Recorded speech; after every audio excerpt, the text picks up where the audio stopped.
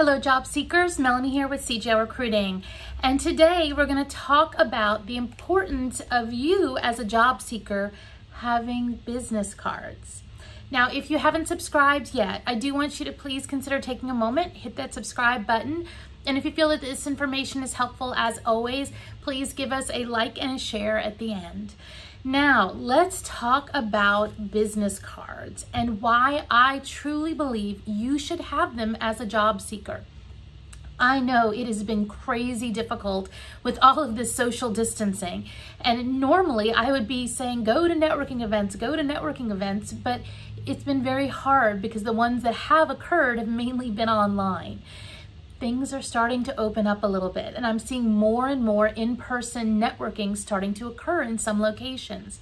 You need to get out to these networking events.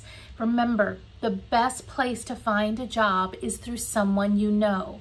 Now, when you're going to networking events, of course, I want you to go to ones with other job seekers, but I also want you to go to ones that are industry and profession related, not just ones that are going to be putting you with another set of job seekers. You really need to get out with other individuals who are currently working at different companies. So make sure you're balancing this. Now, why should you have business cards? Is it worth the expense? Here is why when you are at these different events, hopefully you are going to be meeting a ton of new people. And can you give them a copy of your resume? You can, but it is awkward unless you're an actual job seeker at a job search type of event. So let's say that you are an engineer and you're going to the Society of Petroleum Engineers having some kind of in-person network event or you're in the oil field and you're going to Oil Field Connections International to one of their luncheons. At one of those type events, having 50, 60 copies of your resume can be very, very difficult. But having a business card is a really small, easy way to still make sure you're getting your contact information to the person that you're wanting to know and consider you for jobs. And here's another great thing about business cards people feel the need to give you one back. And especially when you're at an industry event or an event where you're maybe not just with other job seekers, this is a great opportunity for you to hand your business card and say, hey, I'd like to, you know, share my business card with you. Do you have one to share with me? Sometimes you won't even have to say that. Many times it'll just be common nature and the person will automatically get out one of their business cards for you. And then you have their contact data and can follow up better. Now, what should you put on a business card that you're doing when you're a job seeker as opposed to when you're working at a company?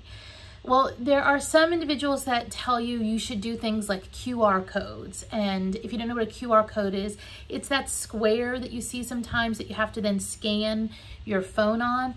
I am not a big fan of those. I want your information to be easy for the person that is getting the card to go back and look at without them having to go to additional steps of scanning it with a QR code and then going from there. So here's the information that I recommend you have on your business card. Now, you should of course have your full name. You wanna have all of your contact data. You wanna have your email address and you do wanna have your phone number. For your email address, we covered this in some of our other videos, please make sure it is a business appropriate email address. then, the other things that I recommend you do put a link on is you can put your LinkedIn profile and a link to your portfolio.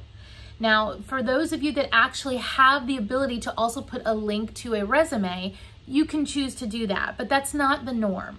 Um, most people don't have that other access and can't put a link out there. So if you don't, don't stress about that. You can always attach your resume to your LinkedIn profile. And we do have a video that shows you how to do that if you want to. Um, the other thing is, remember business cards can actually be printed front and back. So what you can choose to do is to put your contact information and your links on one side. And then on the other side, you can put information about you. You can put information, you know, I'm a mechanical engineer looking for whatever. I am an accountant considering positions in the following. This is a short amount of space available to you though. And just like within your resume, you don't want the reader to look at it and think, oh, too much text. But if there are amazing skills that you want to highlight, you should do that and utilize a bullet format again to make it easy for the eye and the reader to move from bullet to bullet and capture as much information as they possibly can about you. Now, one other thing that I do like to include when you have a networking card or a job seeking business card is to have a headline, very similar to what you would have on the very top of your resume or on your LinkedIn profile. And that is something that classifies you easily for the person who is looking at your card to remember, oh yes, they are uh, a supply chain person. Oh yes, they're an HR person. Now, this becomes a little bit more difficult when you are one of those people that is able to do lots of different things.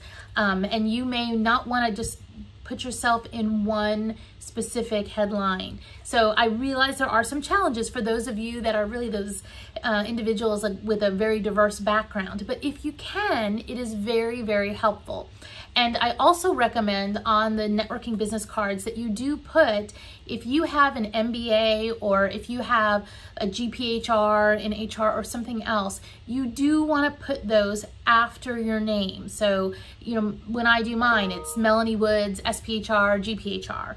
For you, it may be, you know, whatever your name is, comma MBA. And that way you're getting another chance to make sure they realize what your expertise and education is on these cards. Now the last thing I want to talk about is, well, two more things I want to talk about. One of them is the colors. So yes, there is no doubt when you include some kind of color on your business card, it stands out more than others. And so if you are willing to spend a little bit of extra money, you can do this and have a, some type of color or something else. Do not be too far over in what we call artistic overindulgence on this. The point is for them to read your information on your card and to remember you. But if your information is hard to read because you've got it formatted this really funky way, or it's just difficult to read because there's too much going on, that's not going to always necessarily help you. So it's okay to have something that makes you stand out. Some people do rounded corners or some people use different papers. But please know, just a standard, regular, the cheapest business card style you can get will work. As a job seeker, you should be in cash conservation mode. So it's okay to at least get something rather than nothing. And then the last thing I want to talk with you about is it is really great if you are really gaming on with your job search to be able to adjust your business card for the different events that you're going to. So if you're going to an industry event, have some information there that's more specific to that industry, as opposed to if you're going to an engineering where it's more about what your degree is in. Um, it's definitely great if you can adjust these. And so I know a bunch of you are now going saying, Melanie, I can't go get business cards printed for every single event that I go to. I understand, and that's not what I'm telling you to do. But I will tell you that there's different ways to get business cards done. And I'll even, we'll link some, we'll pull some different things and link it down below in the description about different ways to do business cards. But one of the ways you can do it is print them at home. And these used to be really bad when you printed them at home because they had like the little lines on the side, the little dots where you were popping them out, but they are so good nowadays. And if you print them at home, you have the advantage of changing your networking business card when you want to a lot easier. So it's something for you to consider, especially for those of you that really do have more than one amazing specialty. So if you have not invested in these yet, I do recommend it. I will get you some really cheap links down below because it is not expensive at all, I promise, to get a ton of business cards printed. So that way, when you are at those networking events, you are making the most of them. All right, job seekers, keep gaming on. That right job is out there for you. We're gonna keep releasing videos um, to make sure that we're getting you as much data as we can and our live events are coming soon. So I look forward to seeing you guys all in the live events and I will see you next time.